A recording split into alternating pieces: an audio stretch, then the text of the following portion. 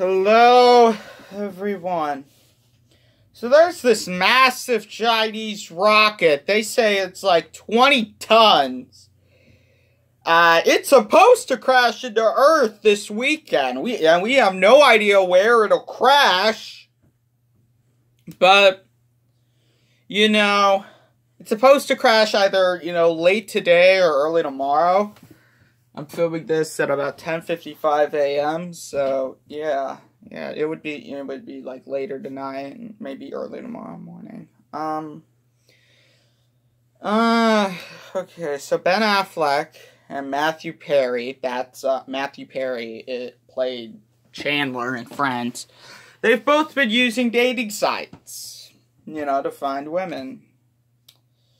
Uh, but Ben Affleck, you know, recently got rejected, you know, by a 29 year old woman. Ben Affleck is 48 years old, so that would be a 19 year difference.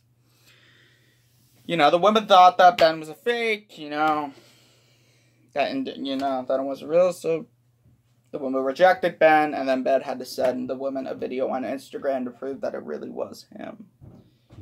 Now, Matthew Perry, the Matthew Perry story is a different one. Um, he was dating a 19 year old woman. That is a 32 year difference. You know, barely legal. Um, yeah, very, very awkward situation for Matthew there. You know, I'm not sure if that relationship's still intact, but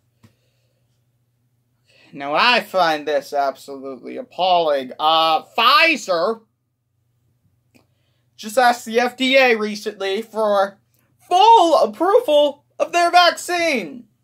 Now, in case you don't know, none of these vaccines have been approved by the FDA completely. The FDA has just granted emergency authorization of these vaccines without full approval. So that's why they're all defaults and and they don't work and people are getting the blood clots and all of that. Absolutely. And really, they've said they're not going to fully approve them until, you know, 2023. And Pfizer just asked the FDA, like, in the past couple of days for full approval. Ah, that's just ridiculous. It's just ridiculous. And they're fixing, they're fixing to vaccinate, uh, teenagers 12 and older.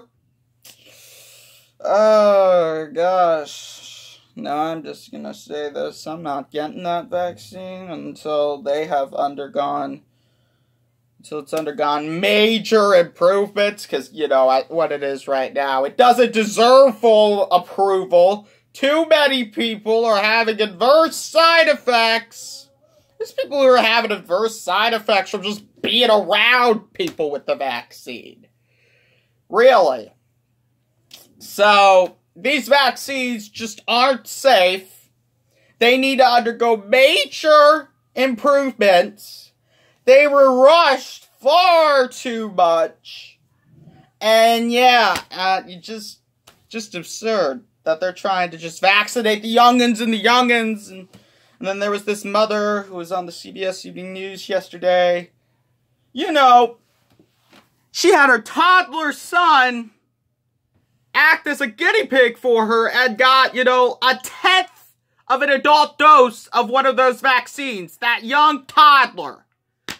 That's absolutely absurd that you let your toddler take a faulty vaccine for you. Like, oh, I don't want to do it myself. Why don't I, why don't I have my child do it? You don't put your children down like that, okay? I'd rather she'd have done it than ask her child to. I don't even know if the child can talk, you know. I think the child can walk, but yeah. Just has little control over himself, and you just give him a vaccine. That is absurd. Okay.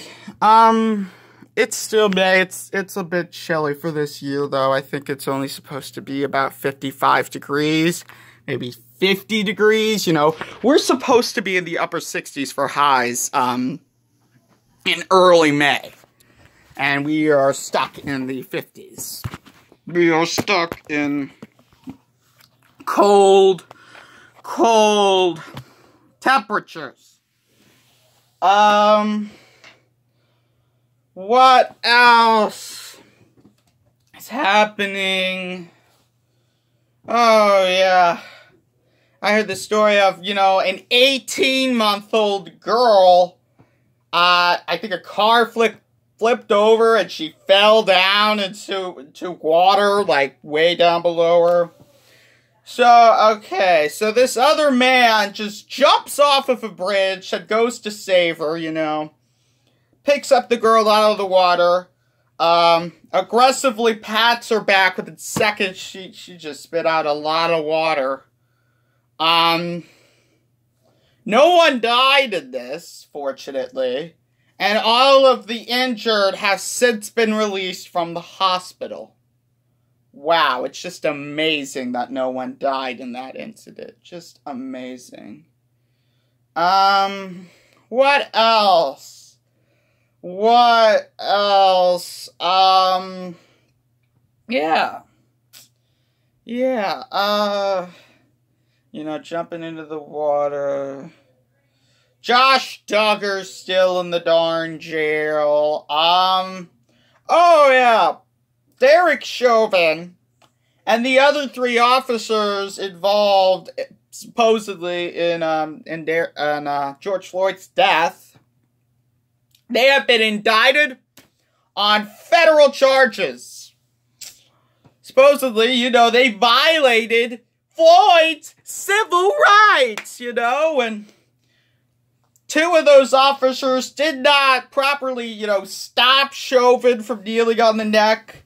They all saw, supposedly, that Floyd was in desperate need of medical care, and they willingly failed to aid him, willingly failed to aid him.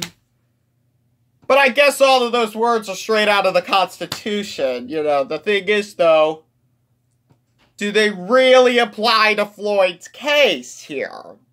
Do they really do so? Where do we draw the line with those constitutional rights? That's a good question that I haven't really considered up until very recently. Hmm. You know, where do we draw the line? You know, Biden's trying to draw the line with taking away our assault rifles, but we have the right to bear arms. There's no question about that. But, you know, Ben Crump, the Floyd attorney's lawyer, is trying to do, is trying to, you know, or not Ben Crump, but whoever's, whoever indicted them on federal charges, Chauvin and those officers, you know, they're just trying to take the full extent of the Constitution. They're not trying to bend it at all. They're just trying to get it out. And here's the question, you know, where where do we draw the line with constitutional rights? That's a question. That's a question that I'm still trying to ponder. You know, I, I'm still pondering upon that thought. Anyway, subscribe to my channel. I've got to go now. Bye.